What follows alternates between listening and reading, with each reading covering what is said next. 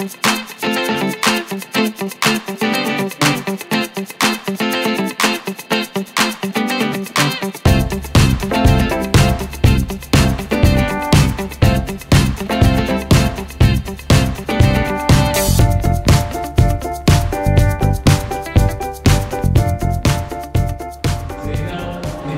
apa, masalah apa dihadapi oleh masyarakat, kalau pemerintah